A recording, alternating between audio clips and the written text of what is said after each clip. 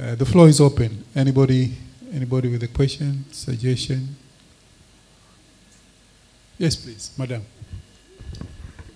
Good morning, everyone. My name is Aissatou Drame. I'm from the Gambia, Ministry of Communication and Digital Economy.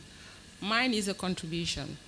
Regarding recruitment, in the Gambia, we are still struggling. Um, the portal has been launched last year, but only applications are done online, only. So the shortlisting are done, you know, the way it used to be. I was amazed yesterday when Vivian mentioned the shortlisting is done now within three minutes. I remember in one of so I was asked to go and represent my office for an interview. So the guy that was supposed to be interviewed was, was relative to, uh, to the Secretary General. So in, that, in his file, there was no, no diploma, no certificates. What happened? The then PS, the Personnel Management Office, who is responsible for HR, came to the interview office and asked us to, you know, to recruit that guy.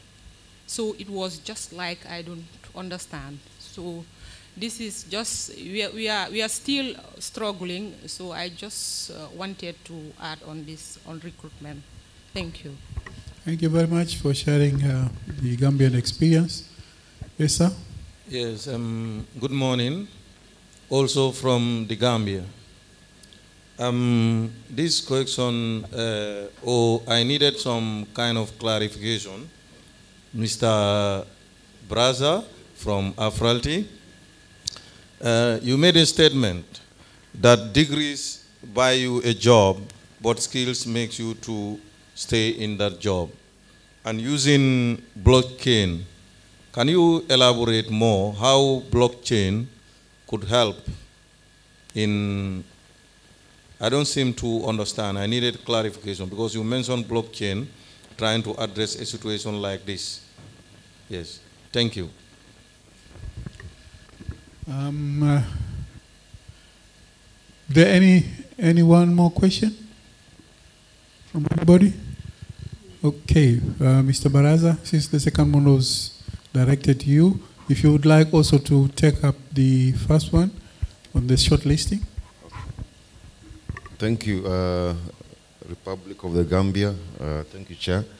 Um, maybe I'll start with the first question. Uh, in terms of, and, and this is something I wanted to discuss in my presentation, but I, I, didn't have enough time. When I was asking those questions, the involvement of HR personnel, uh, and actually this HR, HR department used to be called long time ago personnel department. I think over time it turned to H human resources because personnel look like a slave, a slave term. I, I also see it in my, in my organization that many HR department people don't get involved in capex development. And that's where most decisions are made. when you're making that budget and you are an HR officer and you're just, the only thing you're being, and especially because I run a training institution, our budgets are normally the ones that are cut very quickly because they seem like they are not uh, very important. And other. But if you get involved with the capex development, is when now you're able to deal with the issues to do with um, the processes and systems that will enable um, seamless recruitment of people without biases. And this is what AI is about to resolve. You know, um, of course, and I like what uh, my co-panelist has just done here. This, this is uh, some level of reducing biasing, uh, biases because even the robot that is, is representing here is actually talking the Caribbean version of English which is very good because most of the AI products that you see, the English is from his home country sometimes or from US. That's already a bias. But when you invest this as a human resource person in your organization, you're able to recruit without biases because you involve, I mean, AI is garbage in, garbage out. If you put in your accent, it will pick that accent. If you put in your surnames, like what you are being described yesterday, it will pick those surnames. If you say this, I don't want these people from this region to be employed in this organization, it will pick that because this is what you put in. But you need to be get, to get involved from the beginning. So one, who's purchasing the system and uh, from where? So that you understand the background and then you're able to involve, as HR say, fine, I need to get involved in this acquisition of this blockchain system because it's just a, it's just a database. Um, I hope I've tried to answer that. Ben, if I'm not finished, you'll probably add. Um, on the issue of um, what you mentioned about uh, degrees. Oh yeah. So the degrees, um, the issue is really um, trying to ensure that you have, because these are distributed systems. Blockchain is a distributed system. So, and I mentioned in my uh, uh, later part of my presentation that distributed systems, if they're authentically done properly, and you've seen this happening, the most application of a distributed system is what? We all know, cryptocurrencies, right? But they have, all, they had their own share. I didn't want to mention that because I'll confuse you and bring you to multi-level marketing. But now, the, when you look at now the decrease issue, universities, colleges that are training these students, when, when, they, when they develop digital certificates, and the employer is also part of that uh, blockchain, the, the, the ledger, then it means you are able to authenticate because this system has already uh, been authenticated and is centralized, and you both have access to it. So you'll not find a, a situation where she's talking about someone coming in without a certificate, which you cannot verify. As I said, the definition of um, blockchain is immutable ledger, hyper ledger, hyper, you know, scale.